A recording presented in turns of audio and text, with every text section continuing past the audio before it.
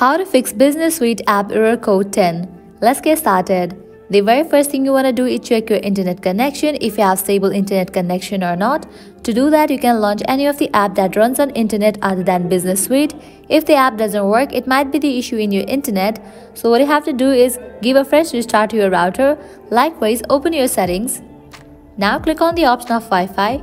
Click on the Wi-Fi that you are connected to. Click on forget this network and rejoin it. Likewise, head back now you can switch the network. If you are using Wi-Fi, switch to cellular data and in the case you are using cellular data, switch to Wi-Fi. Heading towards other solution, close this. Launch your App Store. Now search for the App Business Suite.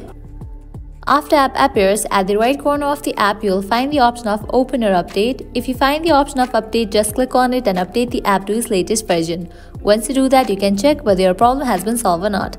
Likewise, heading towards next solution, close this. Open your settings. You'll need to clear cache for the app. So scroll down, click on the option of General, open this option iPhone Storage. Now scroll down, open the App Business Suite, click on Offload app, click on Offload app. Offloading app clears cache for the app. Now click on Reinstall app.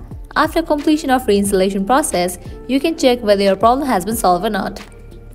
If all these solution doesn't work for you, you can delete this app completely from your device and reinstall it. For that, click on this option of Delete app. Deleting will also delete all of his documents and data. This action cannot be undone. Click on Delete app.